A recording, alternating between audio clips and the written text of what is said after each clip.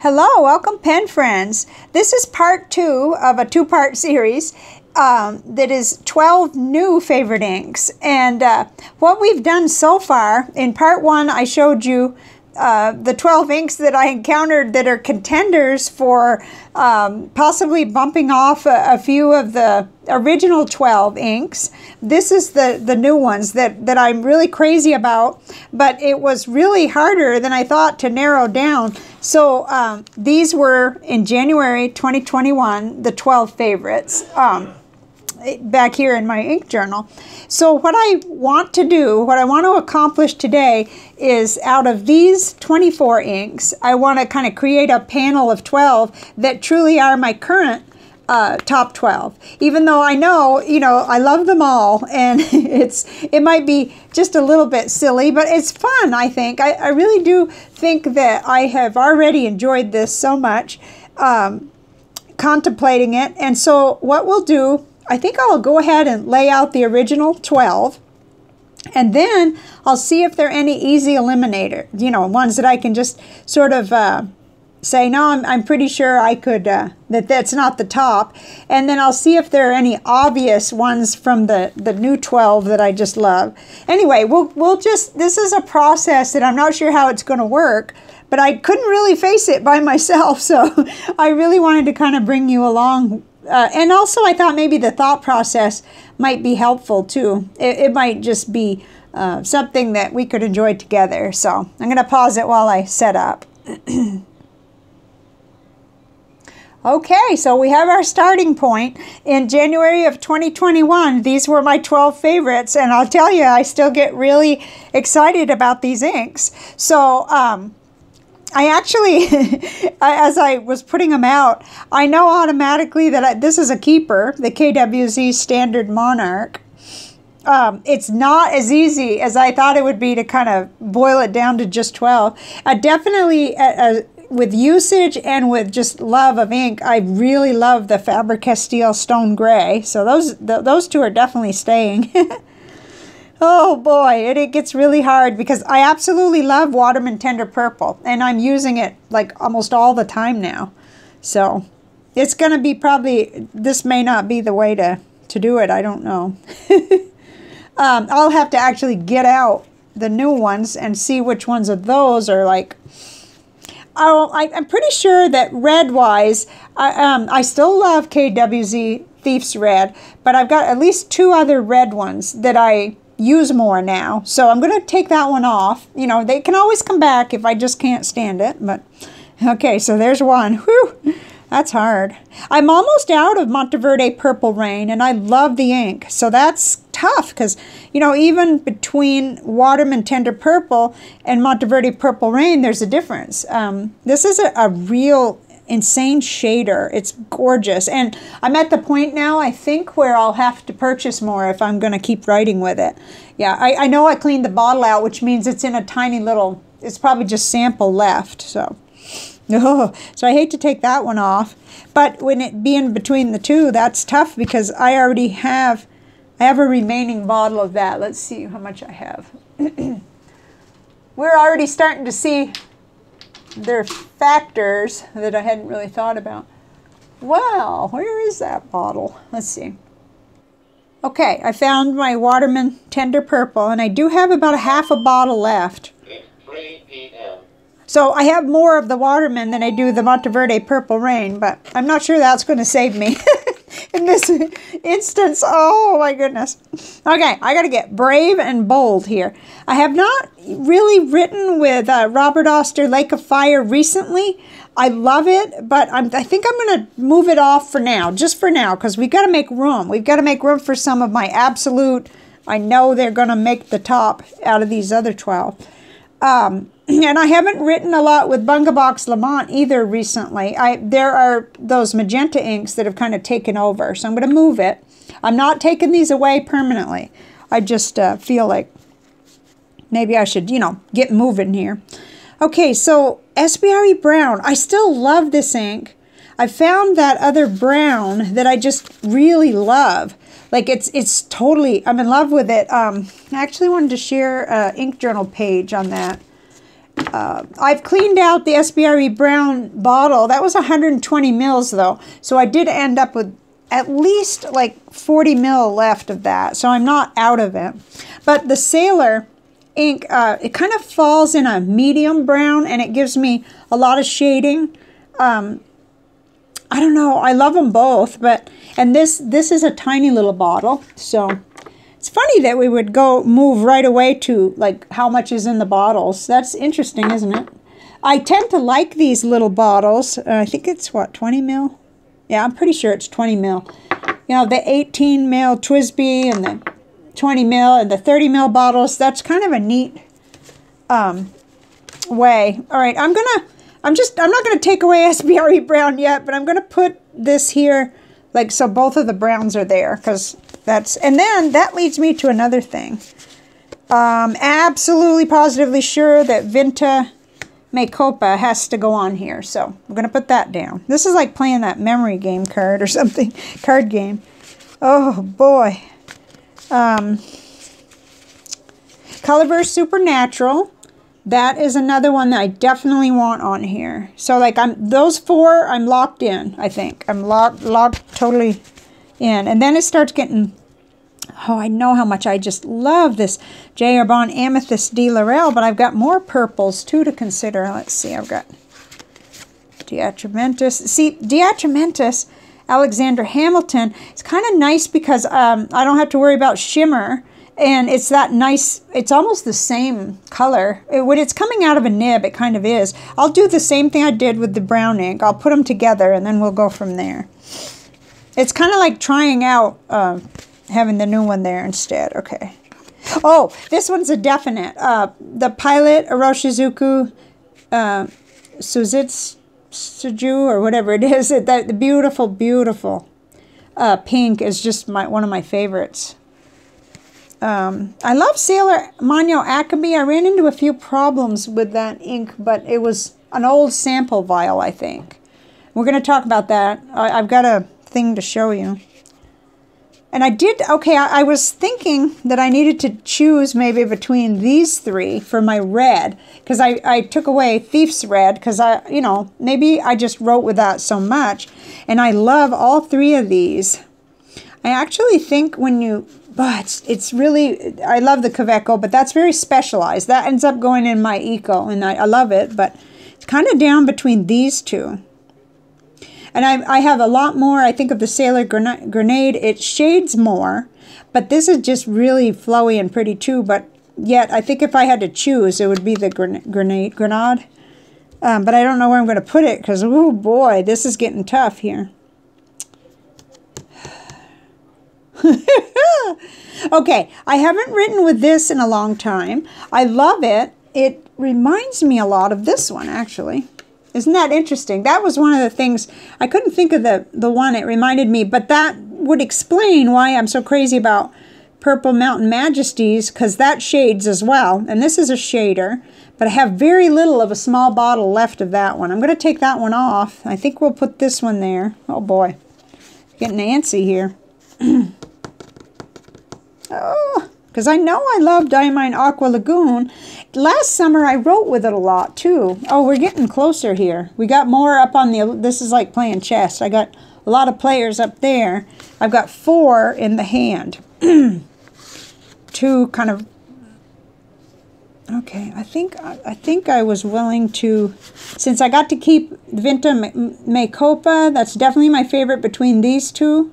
I think I will put that one up there for now. We're getting there. TWSBI Royal Purple.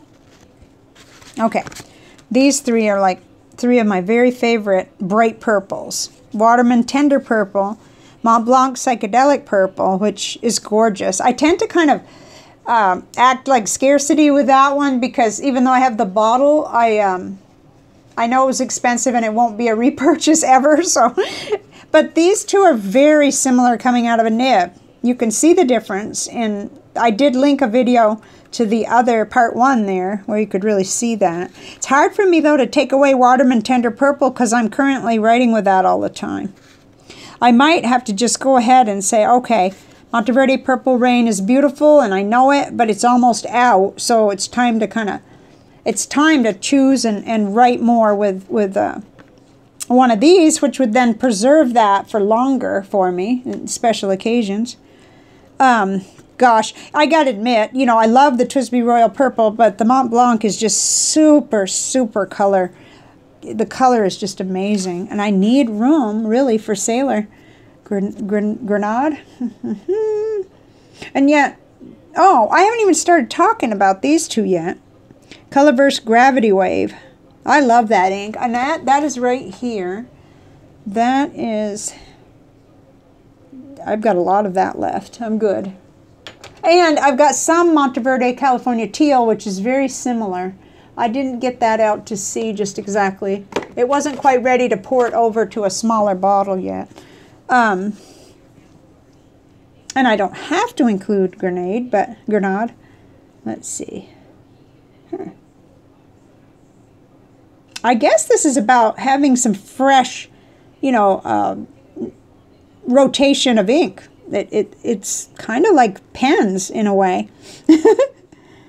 oh boy.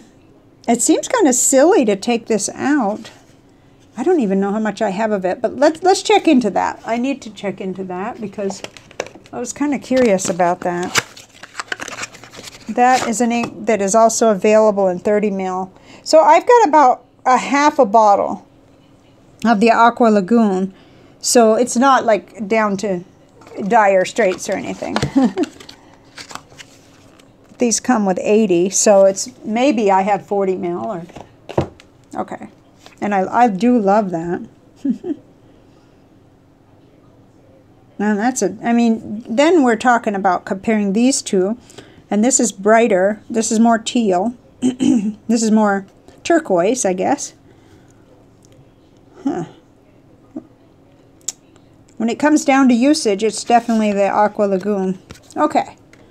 All right, now let's go back and revisit the two that are... I just think that's just having a fresh face. There's no way I'm going to give up on this one. This is the uh, has the silver shimmer, and it's really smooth. It, it you don't even really think about it being a shimmer ink. I, I run it through my Lamy fine nib and, it, and it's just so smooth. It never never goes wrong and, and it's great. Um, so I love these about equally. But this is a new bottle too and, and I can maybe not run out of this if I write with this more. okay, so this is hard because these are different. Um, this is much more medium brown I think, well, this is a medium brown. SBRE brown is a medium brown too. It's lighter though. And, um, and under the camera and all, it ends up looking more orange. Um, but I don't, I don't know where my journal entry is for that one. That's not what this one is about. Really, I, I kind of reserve all that for when I do my progress reports, and that's when you see these kind of things. Okay. Well, See, I don't, that's not sustainable though. And also, another thing I was thinking of was I got a Noodler's brown ink too. But it, it was more of an orange, so I can't remember which one that I, I was just bringing them all over so I could see everything real good. And uh, I'm just going to have an avalanche. Now I'm doing it, not Coco. So I think that's a, probably a quest for another day. It's not like I would replace SBRE Brown with the Sailor because it's such a small bottle. So I, I even have more of that left than I have of the Sailor. But boy, that's a hard one. That's almost like a tie. okay, well, while I'm thinking about that in the back of my mind, I wanted to show you what I meant about the problem I had with Akebi uh, in the little sample vial. Let's see. I think that I had some evaporation, I'll show you. I'm going to open it over here so it doesn't. I had some kind of dark spots around the outside, not on the inside of the vial. And then the ink itself just looked too dark, too concentrated. So I'm pretty sure I had a change in the ink. Um, let me show you. I just showed you over on the other side there what it looked like, but it kind of looked dark. Where's the tile? Tile would help us. Now this is Tomoe River paper. And this is uh, watercolor paper. But still, now let's go over to the ink journal and I'll show you what I mean. I have the ink journal entry for this ink, which is right here. And it is, it is a dark, almost purpley magenta. And, and then, of course, when water activates it, it, it looks pink. But And it has, like, all that shading. But I'll show you, I did go to the back of this journal, and I did swatches. This was from the sample vial. And then this was directly from the bottle. So I do believe I had an incident, you know, like where the ink got evaporated and kind of uh, needed maybe a little water added or something because you can see, maybe you can see, I can, that, um, gee, that, that just so dark. Unless it was a case of having a lot of extra, whatever you want to call it, filament or sheen, uh, kind of settle and, and now we're at that point, but there's two mil left in there. Anyway, what I'm going to do is start a new ink vial with I'm going to make sure this is nicely, it's not shimmer or anything, but I'm going to agitate it a little and put it in a new um, vial. So I'm not sure that um, this or the entry that I made on my chart, which is sad because now it's there. You know, I think that's too dark. But that's just one of those things that happens. It's been a long time that I've had the ink in this sample. And that kind of puts a fire under me because I've got a lot of samples that have been around. Okay, where are we at here? okay, so still, everything else seems like, yeah, this is what I want here. Um, and I just can't seem to commit to deciding between these two, which I don't have to do in reality. But uh, I'm in love with this sailor, and I, I really still love SBRE Brown, but I think um, it's, yeah, it's like it's very sentimental too. And uh, I think for now, just for like this thing of what I'm actually using more of right now and enjoying and, and comes to the top, this would be it right here. So let's compare where we started from to where we are and see how many survived. you, you've probably got it figured out already. I'm just kind of... Okay, so of the ones we started with before, Monarch and Faber-Castell Stone Gray. Yep. Uh, Diamine Aqua Lagoon, so that's three. Four. Four. Wow. Is that it? Wow, I guess I am looking at a fresh set of ink almost. Let's put those together and then I can make sure I'm not telling you wrong. Um, Aqua Lagoon. So these top four, they were 2021, they were included in the top 12. And if I'm not mistaken, then we're looking at eight fresh inks here. Well, some of them I had had around, but they've become, they've grown on me and become, like I've written with Alexander Hamilton with samples. I had a couple of samples before. And I had, for quite a while, Colorverse Supernatural in sample. Because my friend that sent that sample, BH, uh, always sends like really large samples. So that's it. Four originals and eight. So here we have it. This is basically two videos to answer one simple question. uh, you know, and it surprises me because actually I am kind of taken with uh, these eight more than some of the ones that were on here. Cool. But that, let, let me pull out the ones that are still sort of like, no, don't go anywhere. Please don't go anywhere. Um, well, this one, and, well, of course, I just got done talking about SBRE Brown. Definitely J. Herbin Améthyste de l'Oural. I don't want that to go anywhere either. Purple Rain, I actually found myself thinking about ordering another bottle, which is, that doesn't happen very often. Like, I think Faber-Castell Stone Gray is the only other one currently that I keep thinking, oh, I'm going to run out. Well, no, not yet. And I do have other gray ink, but let's see. I mean, it's now been longer. Huh. Oh, yeah, and here comes this, even this newbie that I know I love. But there, you just can't quite compare the Sailor Grenade with um, this one. This is like a everyday ink that doesn't really shade, but it's flowy and it's gorgeous. Um, okay. And really, if I wrote more with blue inks at all, Robert Oster A Lake of Fire is still one of my favorite inks. I love it. I just, I'm, I'm on a roll with purples and magentas. I'm just obsessive about it. Um, Sailor Manyo Akebi is still one of my favorites, but it's really these in my hand, I think. And I don't know if I just wrote so much with Bungubox Lamont. Um, I did a real good number on that bottle. It's not completely empty, but I really used a lot of it. And then I do expect to continue writing with TWSBI Royal Purple, but I've got quite a few others that look almost similar in a nib, so I'm happy with that.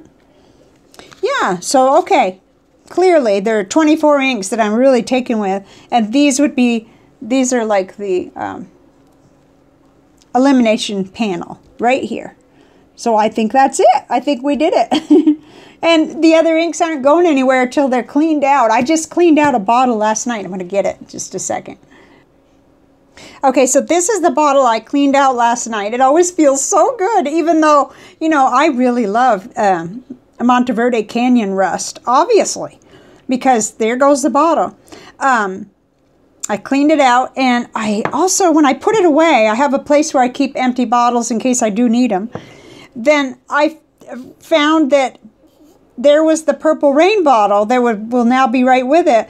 And i remembered that what i did with what was left of that see it's it's about right maybe there. So it's about maybe 15 mil. So i did have an old um, diamine bottle that i just relabeled because this takes up so much more room on the ink shelf. So I really, this summer heat, uh, you know, heat index 110 to 114, these are the kinds of things I'm really enjoying. So that's what I did. Let's see. Actually, I did the same thing with the Canyon Rust. So it's kind of cheating, and yet why have this tiny little bit of ink left in here? I put it in here and labeled it. So they fit like really nicely up on the ink shelf, which I could just show you. And then I can end the video because, oh my goodness. Okay, let me, I'll show you and I'll show you where Coco is. He's sleeping.